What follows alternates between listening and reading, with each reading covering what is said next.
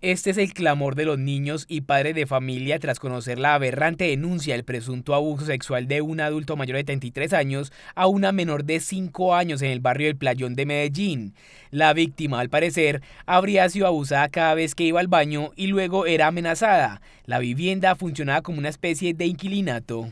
La niña se fue para el baño y vino el señor, la jaló para su pieza y provechó de ella. Y la niña le fue a contar a la mamá que ya estaba cansada, que el señor la jalaba para su pieza y le bajaba su cosita.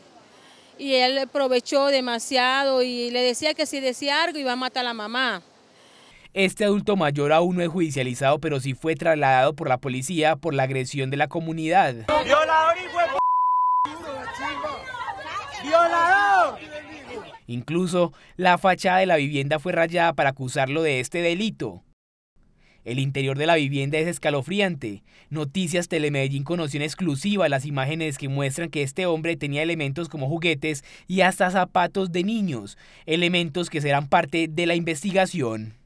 Es preciso indicar que la Fiscalía General de la Nación adelanta la investigación de este hecho. No, yo no quiero que pase punto porque fue él, porque la misma niña dice, la misma la niña dice que fue él, fue él que la, la, la abusó de ella y hace, no es de ahorita, eso el domingo fue eso. Llamamos a la policía y la policía lo que llegó no, no hizo nada. Por ahora, la denuncia ya está formalizada en la Fiscalía para avanzar con las investigaciones, mientras que la menor permanece en el Hospital Infantil Consejo de Medellín con atención médica y psicológica.